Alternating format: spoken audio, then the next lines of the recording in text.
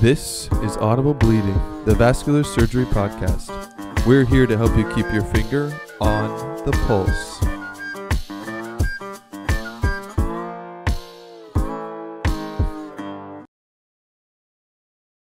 focusing, as she said, on uh, the infrarenal, mostly infrarenal with, with a little uh, foray into the juxtarenal abdominal aortic aneurysm repair. Uh, don't really have any disclosures pertinent to this. I do run a course for type 2 endoleaks, uh, primarily utilizing transcaval uh, aortic access. Um, so the brief overview is going to be uh, just a little um, background on the natural history and current indications and treatment options for elective infrarenal triple, AAA. Uh, we'll discuss the open versus EVAR outcomes, uh, look at some of the decision make, making for EVAR and the challenges inherent to anatomy. Um, and then also kind of uh, dip into how this changes for juxtarenal pathology. So again, just to start with the natural history of aneurysms, the obligatory background stuff. Uh, aneurysms are focal dilation of the aorta that exceeds uh, one and a half times normal with uh, the expected diameter, uh, uh, one and a half times the normal expected diameter, which translates to about three centimeters in a male uh, patient, three, three and a half or so would be considered aneurysmal.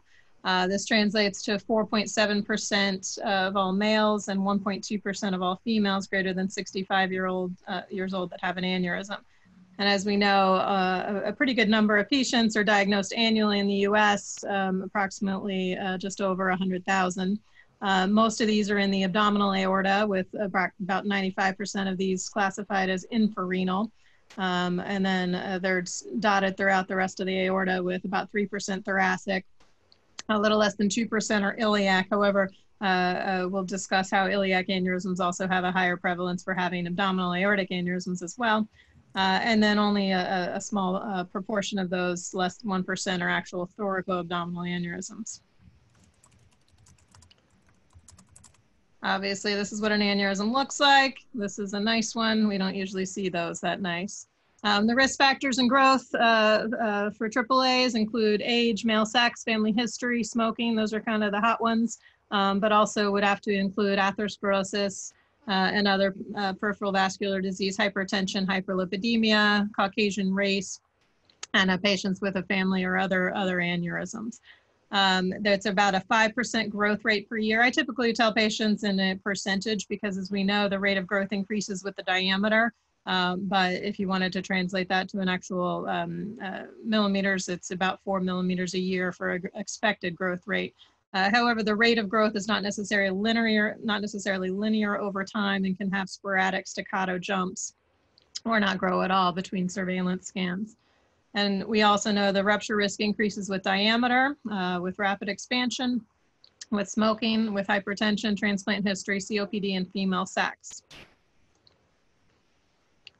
And the natural history is to expand and rupture. There's no medical therapy for aneurysms. Uh, about 11 or 12% of all aneurysms present already ruptured, um, and the mortality with rupture is very high, uh, upwards of 80%, uh, representing about 15,000 deaths annually, and is about the 13th, somewhere around the 10th to the 13th uh, leading cause of death in the USA. So elective surgery is therefore a prophylactic operation because these are usually asymptomatic uh, until the point where they rupture. So that was all of that fun background stuff. Now on to workup and decision making. So we're not going to usually uh, be the ones that are the first ones seeing uh, patients with aneurysm. So we're usually not the ones diagnosing them. They come to us on imaging uh, predominantly. But if you do happen to uh, be the first line of a patient, the abdominal examinations obviously going to include your uh, palpating for an uh, AAA. They're only palpable about a third of the time, however, and dependent upon, and that's all dependent upon the size, the location, and patient's body habitus. Um, imaging uh, usually can find on ultrasound um, uh, as a start, but imaging is typically required for the actual diagnosis unless the patient is very thin or frail. Uh, but if you do palpate an aneurysm, it's usually in the epigastrium or the mid-abdomen. And you can use deep manipulation to check for tenderness for symptomatic patients. And iliac aneurysms are harder to detect and usually in the lower quadrants, just because of the pelvic anatomy. You always need to include a popliteal and a femoral artery exam, however, because uh, of the uh, correlation with those. Uh, up to 14% of patients have popliteal or femoral aneurysms. Usually we'll quote the patients of about a 5% risk of having popliteal if they're diagnosed with an abdominal AAA. The converse, however, is not true and about 50% or up or actually upwards of 65 patients with a popliteal triple uh, with a popliteal aneurysm will also have an abdominal AAA. But a prominent pulse in the popliteal fossa warrants investigation um, as that can be a limb threatening and may, may end up being the, uh, uh, the aneurysm that you choose to fix first. Abdominal aneurysms, excuse me, abdominal ultrasounds also necessary for peripheral aneurysms because of the um, uh, correlation of popliteal and femoral artery aneurysms, as I mentioned. So then on to AAA imaging. So if you find a patient with a pulsatile abdominal mass or peripheral or thoracic aneurysms, you always want to screen them then uh, for a AAA. The higher risk individuals are going to include male smokers, age greater than 75, female smokers, uh, age greater than 70, and patients with a family history of AAA, and greater than 55 years of age. Usually ultrasound might be your initial diagnosis um, unless the patient is very obese and then they might need to get a CT scan for the initial screening as well speaking of screening, so there is a, uh, some role in just screening patients that are high risk. And as we all know, the Medi Welcome to Medicare exam is when uh, we've tagged patients in the United States for their screening exam. But this only includes men who have smoked at least 100 cigarettes uh, during their life and men or women with a family history of AAA. And that's, again, done on their Welcome, to Medicare, so at their 65th uh, birthday there regardless of uh, your choices for uh, repair versus surveillance when a AAA is diagnosed, uh, you always want to make sure the patient is medically optimized and your goals of optimization would be to reduce the expansion of aneurysm diameter. And this is predominantly going to include smoking cessation, treatment of hypertension, treatment of hypercholesterolemia, and I include statin therapy on that. Uh, then there may be a role of beta blockers and other uh, medical uh, things that may suppress MMPs. However, all those are experimental. Uh, and then you also want to kind of optimize a patient for a potential operative procedure. This may include uh, cardiac risk stratification, such as a stress test if you're considering open repair. Beta blockers have essentially uh, gone out of favor as something you would initiate um, uh, due to uh, literature that's come out and uh, potentially consider whether or not you would uh, treat a patient with an ACE inhibitor. And I say that with a caveat as the SVS uh, guidelines uh, don't necessarily endorse that yet. So when are we going to repair patients and how are we going to choose to repair that? So you want to make sure that your uh, surgical decision making includes the patient for one, uh, but you have to take into account their operative risk, their, risk, uh, their rupture risk, which is typically uh, based on diameter, uh, with a, a, a line about their life expectancy as well. So the annual risk of rupture for abdominal aortic aneurysms, uh, less than five and a half centimeters is very low, and this uh, kind of uh, harkens back to the old data uh, from the randomized control trials initiated uh, in the UK. Um, however, once you get above five and a half centimeters, that's when the rupture risk starts to increase. Um, I think that the 9% number is probably a little bit inflated between five and six centimeters um, uh, due to statins and other medical therapies. However, um, that's currently kind of what the uh, best data we have shows. So the Society for Vascular Surgery practice guidelines uh, for abdominal aortic aneurysm says to repair a patient if they're greater than five and a half centimeters and a low surgical risk patient, women between five and 5.4 centimeters. Anybody with a saccular aneurysms and the diameter for this is not necessarily very uh, defined at all in the guidelines. And patients with small aneurysms um, that are going to need to be undergoing chemotherapy, radiation, or solid organ transplant because they may be at a higher risk of rupture. Our options for repair are obviously open or endovascular, and we can get into those a little bit. Open surgical repair is obviously the tried and true gold standard, was developed in 1951. We know there's a, a perioperative mortality rate between 2 and 8%, with complication rates up to 60% the risk factors uh, in a patient that would make them at higher risk for complication uh, include chronic kidney disease, CHF, coronary vascular, coronary artery disease, COPD, uh, increased age, female gender, and then I added in low surgeon or hospital volume and lack of formal fellowship training in vascular surgery. And again, that, that also kind of goes with the volume that you, uh, that you experience in training. And we're showing that those are decreasing over time. So this may be an issue in years to come.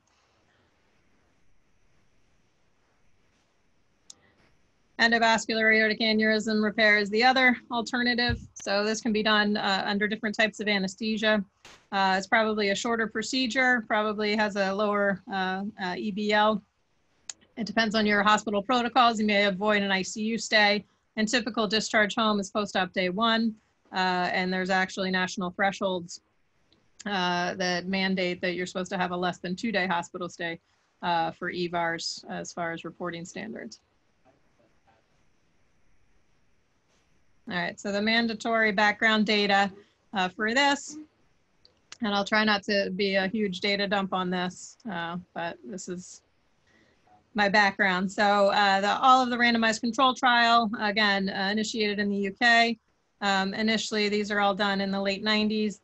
EVAR1 and the DREAM are the best uh, known, and they show a perioperative mortality uh, benefit to the tune of 3% for endovascular uh, repair versus open repair. And again, this is as this technology was being developed and as it was evolving and the technology was improving as well.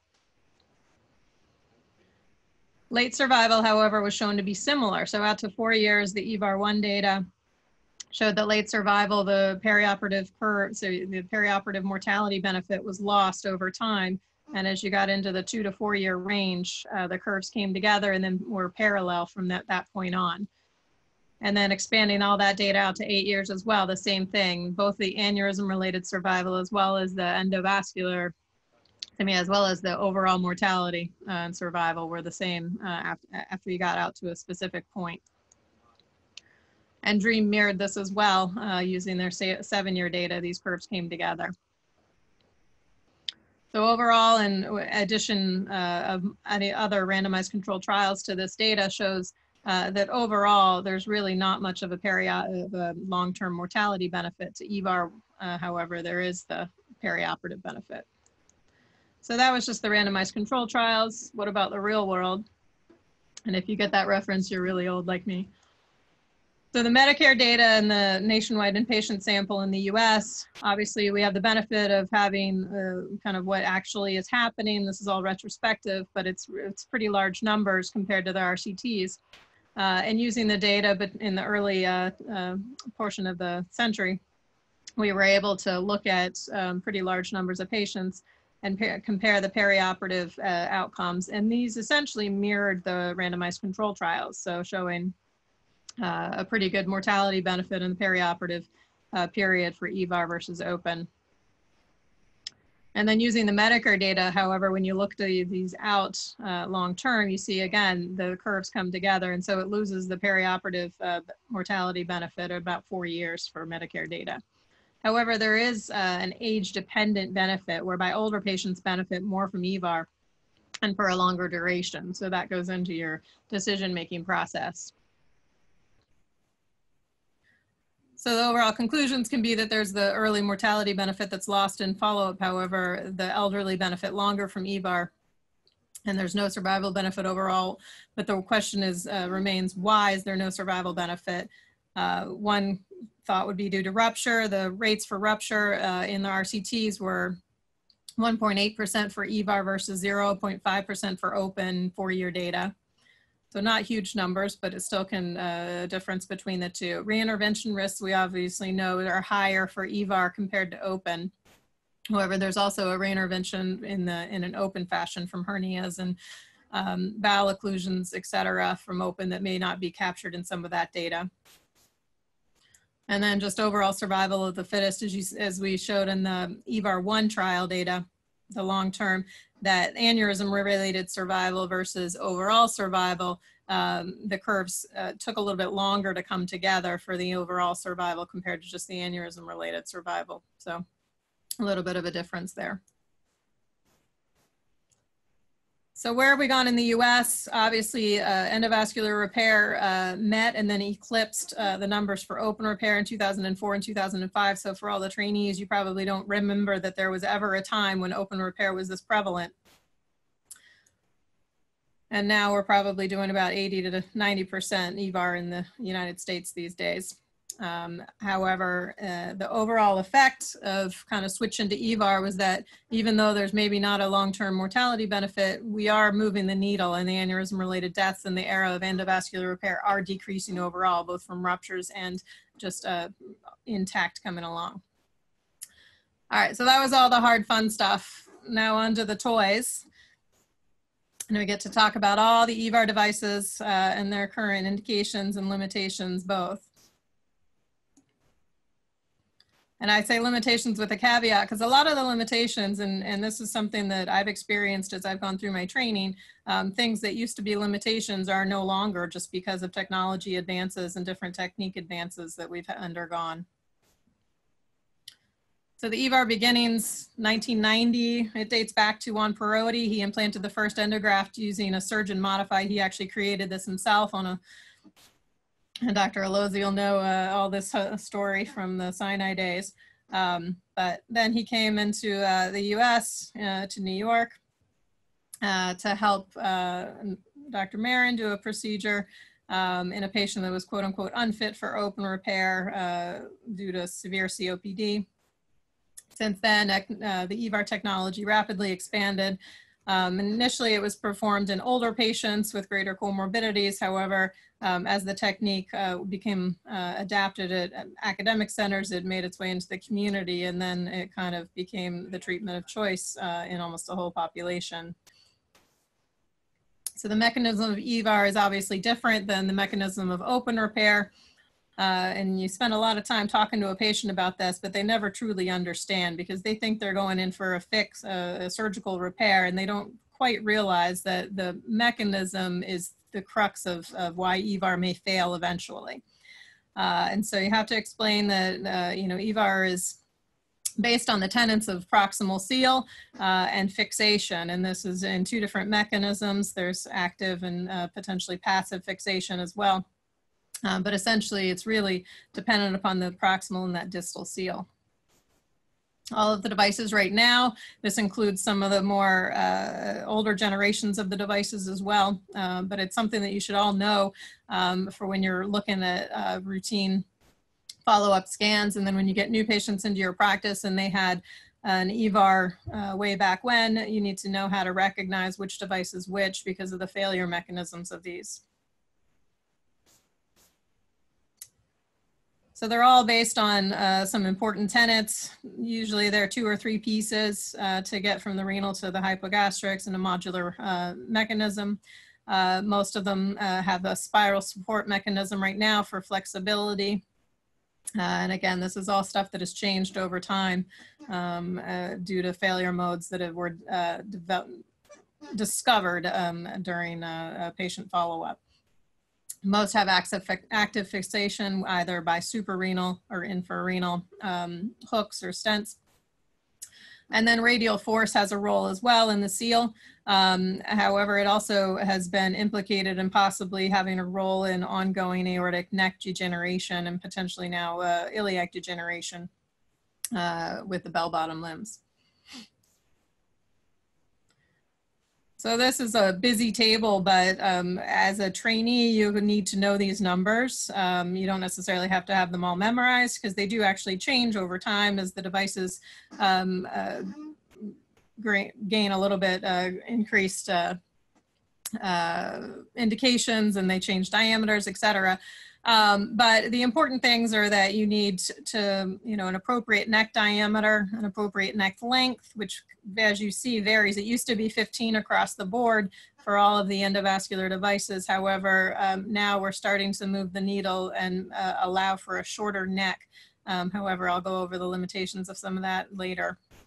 Neck angulation, iliac diameter, iliac length, um, the access um, that uh, is required for both the main body and the contralateral uh, limb are also important you need to know that when you're deciding between devices. And there's one caveat in the neck angulation and the neck length um, for the Medtronic Endurant um, has been able to decrease the neck length requirement on their AFU, on their IFU, excuse me, um, uh, due to their um, uh, the endo anchors uh, with the Heli-FX. So um, that's something that's changed the game as well.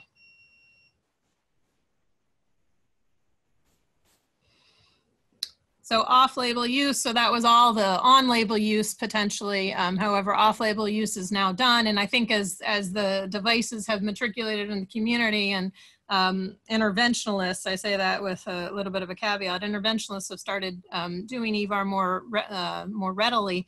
I think that uh, we're seeing a lot more off-label use uh, with potential for different uh, mechanism, mechanisms of failure. I think that most of us, when we do an off-label um, device, we're really cognizant of, of how we're doing this and, and we know the te device technology and the limitations.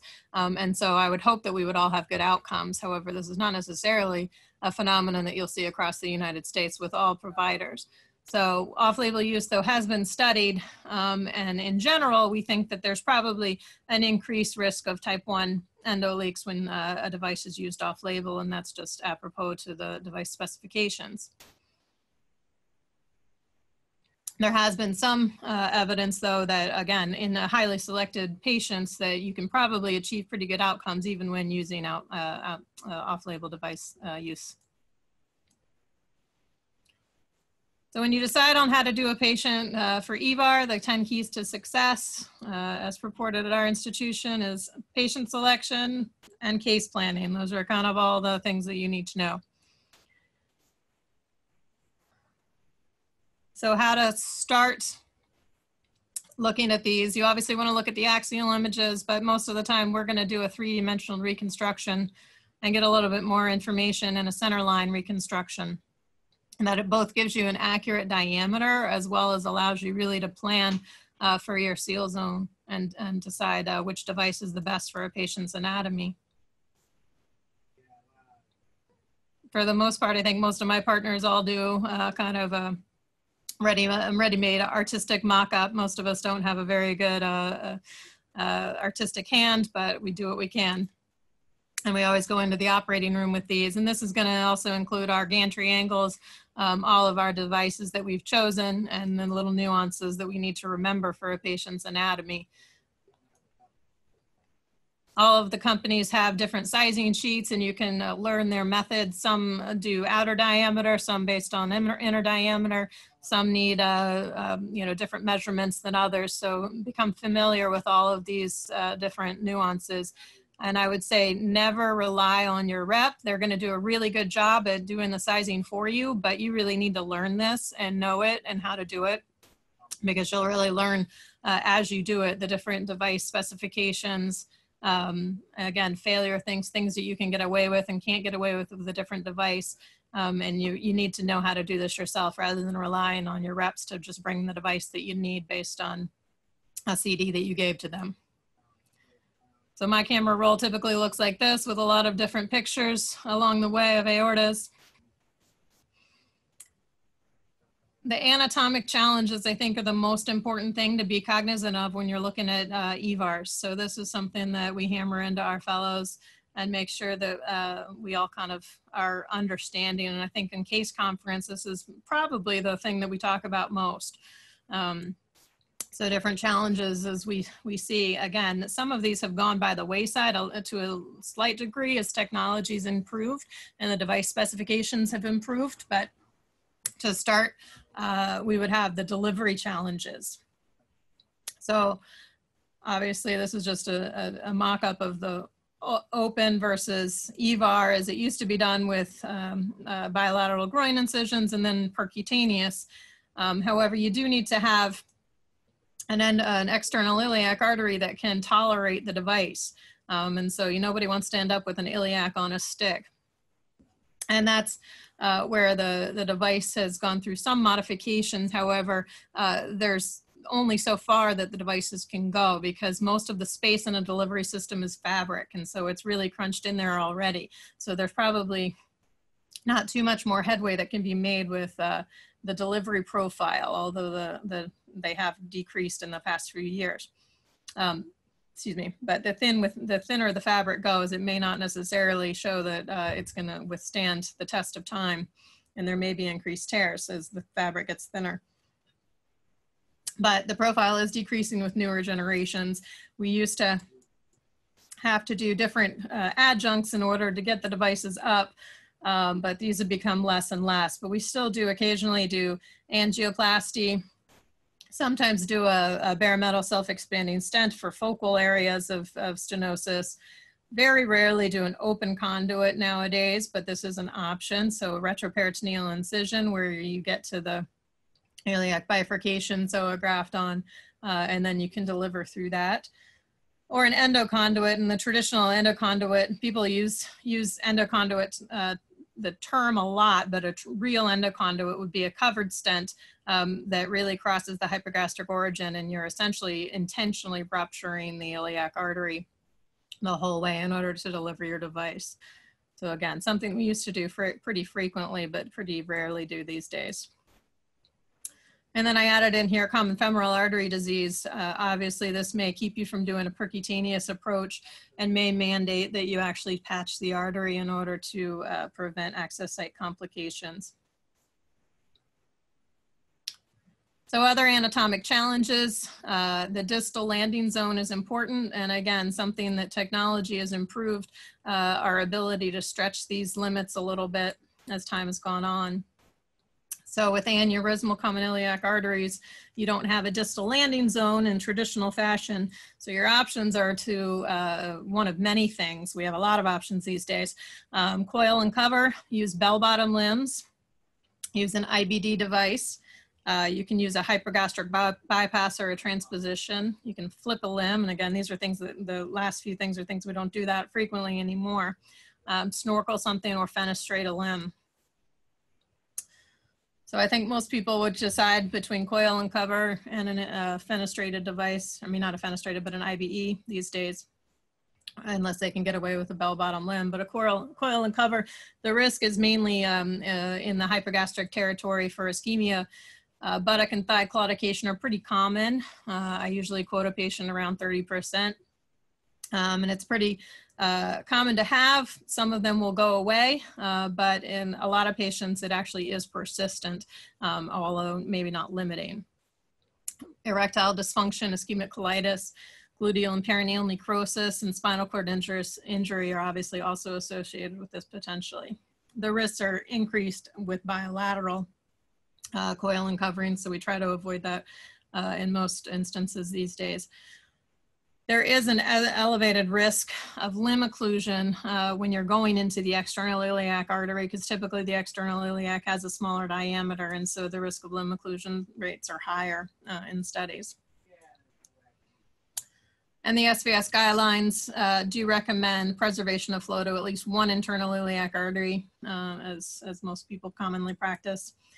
And then if you do have to do bilateral, um, they recommend that you stage it. And this is something that we used to do again more frequently, but the thought is that you increase your collateral uh, circulation uh, ever so much, ever so slightly by uh, staging and therefore minimize your risk of colonic ischemia and the other uh, more uh, risky things. So the bell bottom limbs, um, this is one that they've uh, increased with time as well. So the ability to treat uh, larger diameter iliac arteries.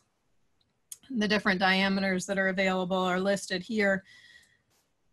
And it's technically feasible in a lot of a lot of instances, and you can continue to preserve your hypogastric. The question is, is are we landing into degenerated artery? And this is going to um, be echoed with the aortic neck um, issues. So you always have to wonder whether or not you're doing the right thing for the patient uh, by landing into a potentially compromised artery. However, in most instances, depending upon the length of the iliac artery, you can probably get away with it. Although I would say in a short iliac artery, when you're doing this, it's that's the patient that's going to come back with a 1B uh, in the future. Again, all anatomy uh, the iliac branch device is something that uh, I think most institutions have started using. Um, there's a Gore and a, and a Cook version. The Cook version is not currently available in the United States. but the Gore uh, excluder iliac branch device is, and uh, we use it not infrequently. This is just the technical aspects of it. You do have to get a reasonably large sheath up and over the aortic bifurcation. So this is potentially a limitation factor. There's obviously other anatomic specifications um, that you have to meet in order for this device to be possible. And the internal iliac artery has to have a sufficient landing zone as well. And you have to have a lack of circumferential calcification at the iliac bifurcation um, in order to allow two limbs to kind of go through that area. But when it works out, it works very well. And uh, we've seen a very good rate of limb patency um, with this device uh, over time and, and have uh, implanted quite a few of them and have pretty long follow-up with a lot of them as well. So just some more pictures of that device. Um, this was a patient where we coiled and covered one side just because uh, anatomic specifications were not um, sufficient on, on the contralateral side, even though it was aneurysmal. Uh, again, this is maybe historical fiction, but hypogastric bypass. Uh, we actually quizzed our fellow on that this morning at our case conference. Um, something we used to do more frequently where you would extend the um, iliac limb into the external iliac artery and then take a, bypass limb uh, off through a retroperitoneal incision and swing it down to the internal iliac artery. It's kind of technically challenging, particularly in a um, obese patient. You're really digging in, you know, you're trying to sew into a deep hole. Um, However, uh, limb patency is excellent, um, although you do have the challenges of opening up the retroperitoneum and you have some potential for increased bleeding, longer OR time, um, and uh, other, other potential things that you're adding to the case, obviously.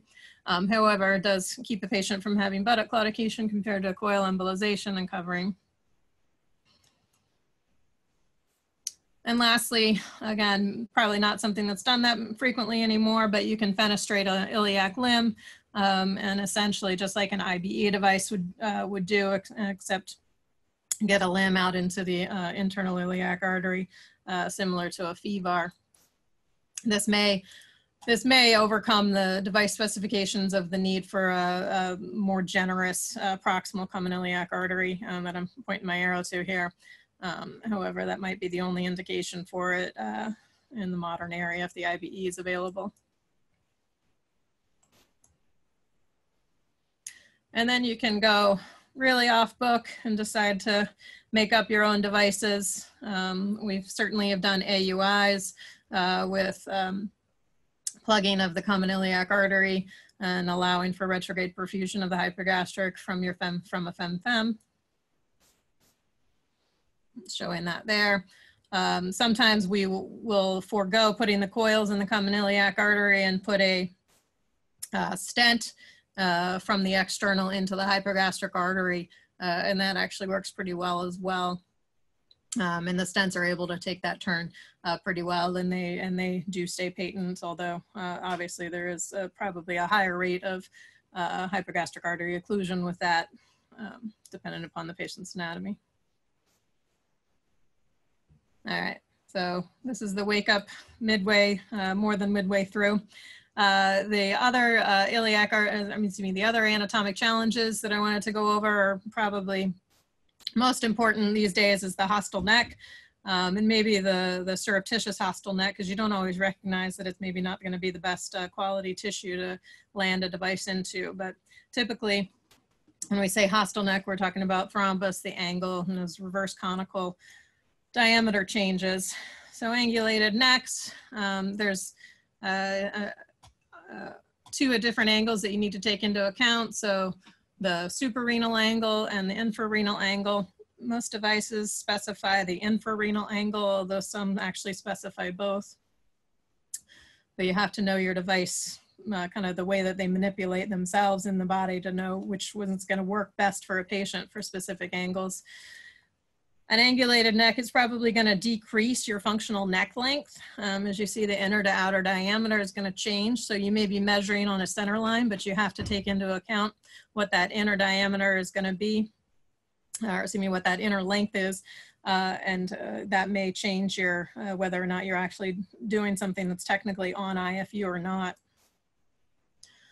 And you might have to increase the diameter and you're oversizing in order to accommodate for that because that angle is going to be uh, taken up by the graft material. And again, this is going back to the IFUs. So again, the IFUs for these and the Lombard, um, I'll specify, is not available in the United States now. Um, but that did have a neck angulation up to 90 degrees and it worked really well. Um, but that was just because of the way that it's made. And since that time, um, since they were first uh, developed, some of the other devices have gone through some um, changes as well. And, and to be quite honest, most of them take neck angulation pretty well, but you do really have to snug up on the renals and you have to know how that's going to really take it and decide on how you're going to manage the deployment.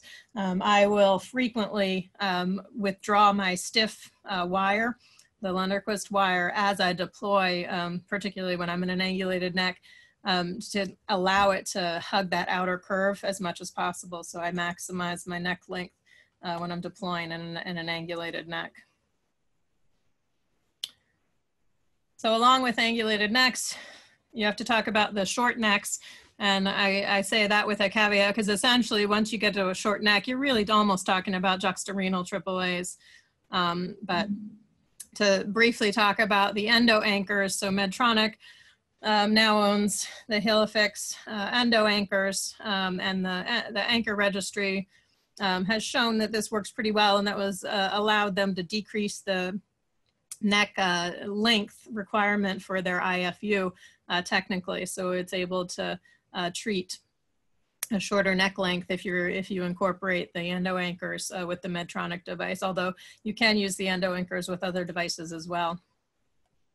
So technical success in the registry was 90 uh, was 89%, and they used an uh, average of five and a half staples uh, and had a mean neck length of seven millimeters in that. So not necessarily endorsing that, just showing that these um, devices are now kind of starting to bridge the gap and, and push the limits. So I think that neck quality is something that you don't always notice if you're just doing the diameter measurements, um, but you really have to look at a, at, at a 3D reconstruction and really look at a center line and see what the neck actually looks like because you can tell in this one, this is truly a juxtarenal aneurysm and the net quality right near the renals is, is not good. So in an open, uh, if you're fixing this open, you probably wouldn't care too much. You can probably get a good sewing ring just below the renals and it's probably not gonna be something that comes back to be an issue in the future uh, of this patient. However, if you're trying to seal into that aneurysm, um, uh, with an EVAR, then that is something that's going to continue to degenerate and you're going to find that that's a patient you're going to get your type 1s. So you really have to take into effect the, the net quality when you're deciding on endo versus open repair.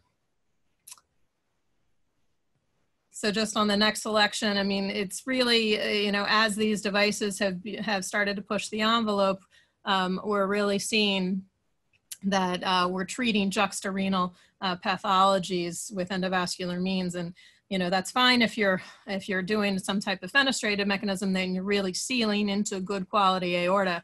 Um, but I would caution against using just a bigger and bigger device um, because you're really gonna find that that's gonna be the failure mode.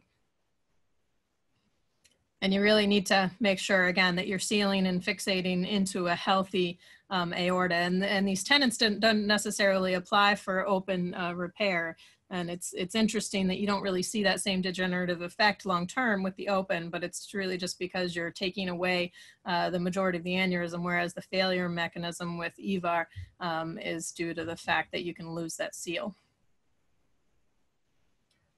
But endovascular technologies still have a role um, because particularly maybe in the visceral, in the paravisceral segment, um, the, the endovascular benefit may actually be more substantial compared to open um, due to the uh, increased morbidity and mortality surrounding open repairs of these. Um, and so the, the perioperative outcomes and that perioperative benefit that we saw for infrarenal EVAR um, is probably even more divergent for juxtarenal and thoracoabdominal uh, device, uh, uh, pathologies. So the aorta is easy to operate on. The problem is that it's very, it's in a very inconvenient location. So if you're going to go for the true thoracoabdominal aneurysm repair, you're talking about a large incision. You have to really um, get into the retroperitoneal space, and it obviously carries with it a, a huge uh, morbidity and mortality for a patient. So treating these with endovascular uh, devices definitely does seem uh, enticing. Uh, so thus the evolution of EVAR for these, uh, you know, increasing paravisceral uh, aneurysms. Obviously, we started with open surgery and then hybrid open and endovascular surgery came onto the uh, into the fray. Chimneys and snorkel devices, um, EVAR adjuncts and better devices, um, different types of cuffs and whatnot that uh, allowed us to kind of shorten the neck uh, in EVARs and then homemade fenestrations, and finally custom made devices. So I'm not going to get into the true thoracoabdominal uh, repairs, uh, but we'll talk about uh, ZFen FEVAR. So the Cook ZFen, um, as we all know, is, uh, is a custom made device um, that you have to have specific anatomic specifications for, um, but usually can treat um, up to and seal um, uh, up to and, and, even above the superior mesenteric artery. However, without the support of the superior mesenteric artery um, in most instances. So. But two thirds of patients um, with complex abdominal aortic aneurysms won't be candidates for the ZFEN due to the design constraints. And as mentioned, so you can have a maximum of three fenestrations um, so two small and one large, and the large would be non-reinforced, or you can have uh, fenestrations and scallop and a scallop. Um, but the diameters are all kind of fixed. The, you know, you, you obviously are gonna uh, make the fenestrations where you want to from an anatomical um, uh, uh, three-dimensional reconstruction. However, you can't have them uh, as close together as you would like in some instances, and there's definitely limitations that you can't get around um, due to the custom made device of it. So it may not necessarily be uh, the best thing to treat uh, and get seal all the way up to uh, and through the celiac, and so you might not always have the rest, best seal that you want. But in juxtarenal pathologies, typically um, this will get you uh, where you need to go um, and, and probably is something that you should consider even in the really short um, neck uh, that's not, a, not really a, um, a juxtarenal pathology.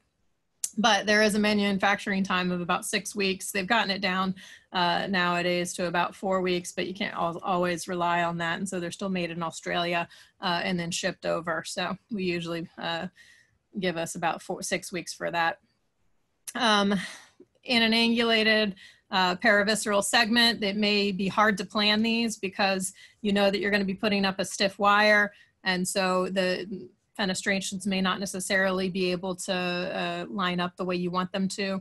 Um, you can usually uh, get into the devices, I mean, into the um, renal arteries, but sometimes when you've got aneurysmal pathology right at the uh, renals, and particularly when you when it goes above the renals, then you're talking about having to bridge the distance with um, the bridging stent, and that may not, from a mechan mechanical or an engineering uh, standpoint, hold up, and you might end up finding that you either have stent fractures or type 3 endoleaks from the devices pulling out uh, from one another because of the stress uh, factors. I don't think that, you know, these devices are not uh, necessarily made to uh, withstand uh, any uh, migration of the devices or the constant pulsations and, and blood pressure uh, that we see. And it's really hard to anticipate exactly what's going to happen over time.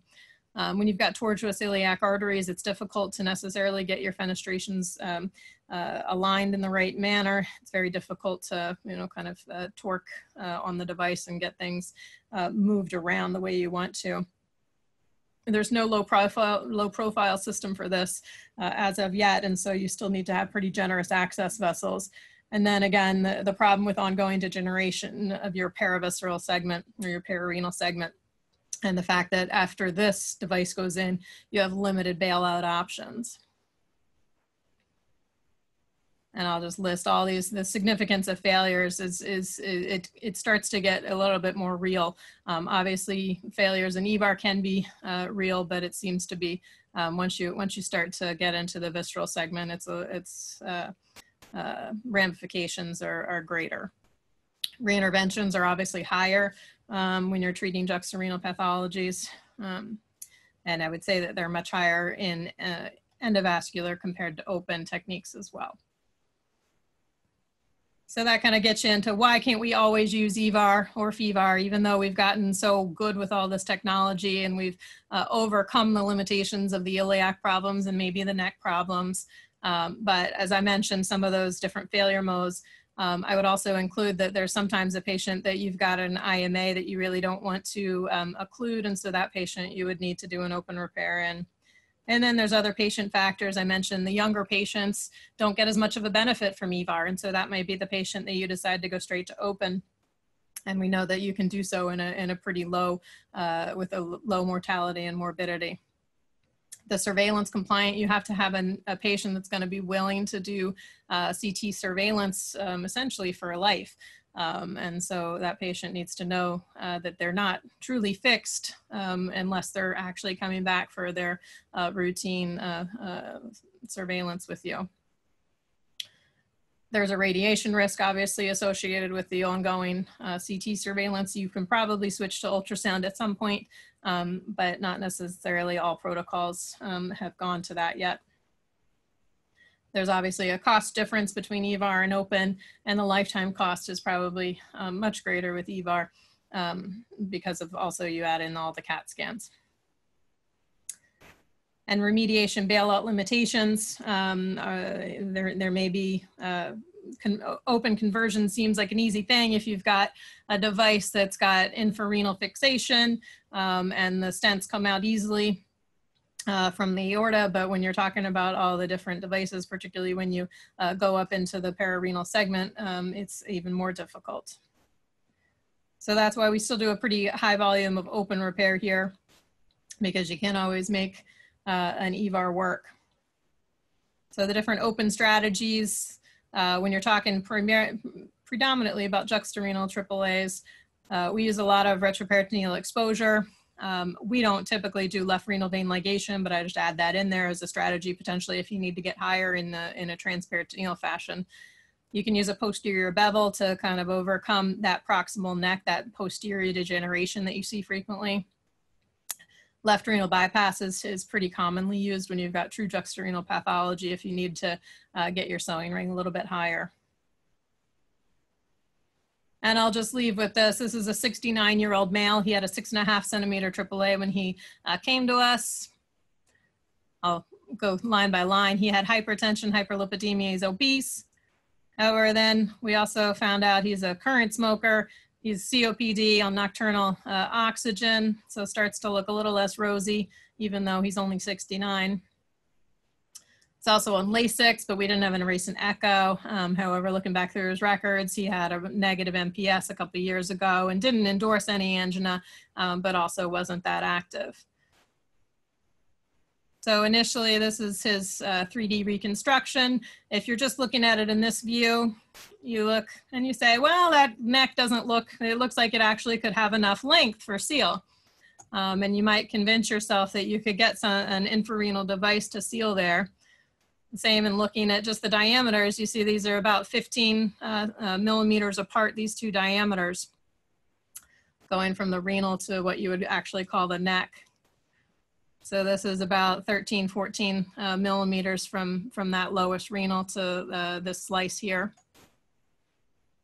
However, when you look at the alternative view, you see that posterior uh, degeneration there. And so really that entire thing is aneurysmal degeneration. If you had looked at the diameters on those, that was, they measured 33, 34 right at that renal. So obviously that's not good aorta there. And so you need to go ahead and, and make sure that you're sealing into something that's a little bit higher. So this seemed like a pretty good instance where you could use a ZFEN and increase your seal to this area here that looks almost normal, obviously still not completely normal, but almost normal. And so we thought that would be a good idea. The case went well, didn't have any uh, issues in the case. We had a great final image. Um, everything looked good. Again, this is our one month post-op CT scan here, showing that the renals looked good and there was good seal throughout this whole area here from essentially above the SMA um, down through the renals, we had seal. So at six months, this actually, he, he somehow didn't come back for his three month, we, we lost his three month scan.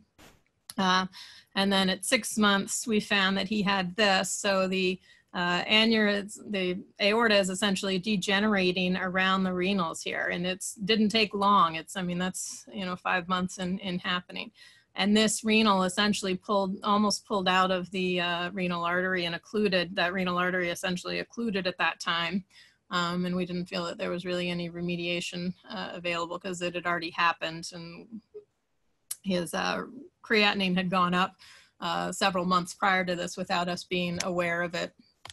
And again, he missed the follow up. I'm sorry, I've got to be able to see my image. And then this was his nine month post op. Again, not usually a nine month scan that we get, but um, this uh, was obtained in him because of that six month scan. You see this ongoing degeneration. And he actually had developed a type one endoleak from the SMA scallop here. So whereas he had had really good seal up here uh, on his one month scan, all of it degenerated ra very rapidly. Um, and he had now, uh, you know, almost a seven, seven centimeter aneurysm and, and a wide open endoleak. So somebody that we wouldn't have predicted. So he underwent EVAR conversion with the left renal bypass. Just thought that was an important one to show just because it was such a surprise.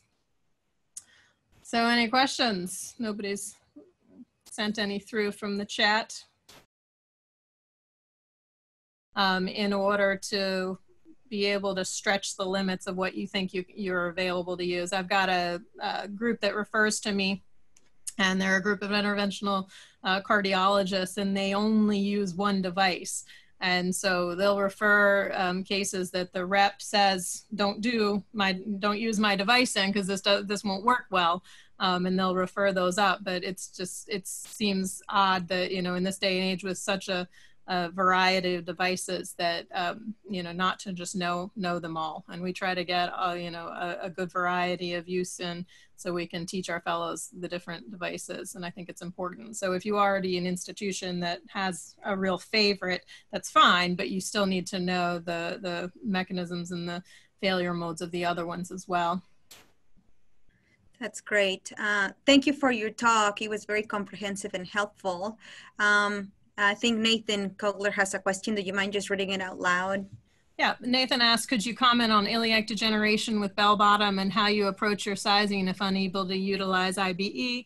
Um, you know, again, they they do have um, you know specifications up to you know the diameters are up to 28 now in certain devices um, that doesn't mean that I'll always want to do that um, in a patient. And so I, I, think I would preferentially do an IBE sometimes in a patient, depending upon if, if again, if the entire common iliac artery is aneurysmal, then that scares me um, that that might, you know, have ongoing degeneration. And so if that happens, then there's nowhere to go um, once you have that, that bell bottom in if it, if it does develop a type 1B from ongoing degeneration. It's hard to it's hard to predict who that's going to happen to.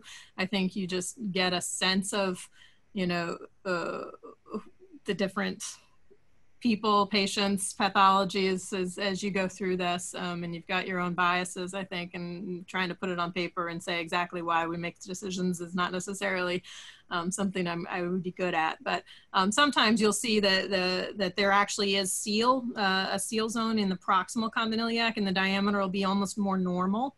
And then it gets a little bit uh, wider. And so that's actually probably a good use of an iliac bell bottom um, because even if that area degenerated a little bit, you probably are still going to maintain your seal more proximally. And so that probably won't get, become a wide open 1B.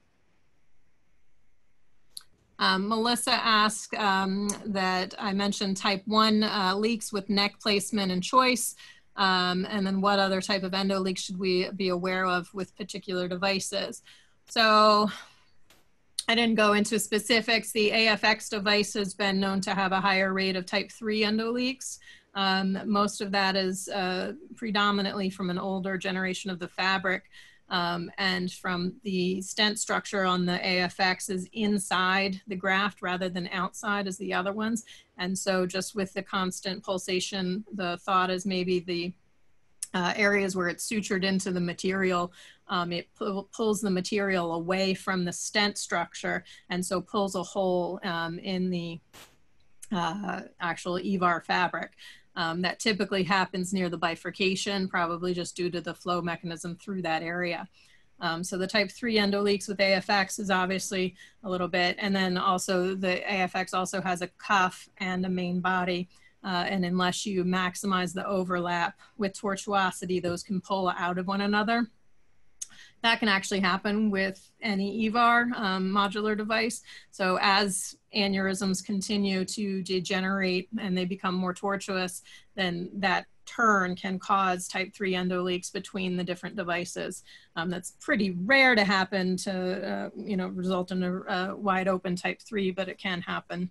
Obviously more common with juxtarenal and different thoracoabdominal pathologies. Um, ongoing type 2 endoleaks um, are kind of the crux of uh, some people's practice with these surveillance um, images. And I think it's very difficult to predict who's going to have an ongoing type 2 endoleak that's going to be a problem. Typically, you'll need inflow and outflow um, in those. And um, I coil a lot of the type 2s, and, and I still don't have a great understanding of why some stay open and why don't, some don't. Um, but that probably puts us at our time. I could talk about type 2 endo leaks all day, but nobody wants to hear that. uh, sounds good. Do you um do you mind just going pretty briefly about what are your kind of tips and tricks for those difficult gate cannulations? Um, you know, um, it's not infrequent that we have those very large aneurysms that that are within IFU. We're using an endo infrarenal device and just struggling to get that gate. So can you mm-hmm. just kind of go over to, to for fellows and residents? Yeah, so catheters and wires are kind of the key to that. I typically only use a stiff glide wire, but obviously you can choose to use other types of wires. Um, but it's really the catheter choice, I think, that gets you um, maneuverability to, to that gate cannulation. So um, I'll typically just start with a with a Kumpe, a C2 might uh, be the second choice, um, but a Van Schie, uh, so Van Schie 5 um, is actually the my kind of my go-to when I can't get over there. Um, it's it's kind of a hooked, it's got a reverse hook. And so it allows you to essentially spin um, and it can really get you over into corners that you otherwise wouldn't be able to get into. Um, so that's kind of my go-to for that. If you really can't get there, you can um, you can snare uh, from up and over.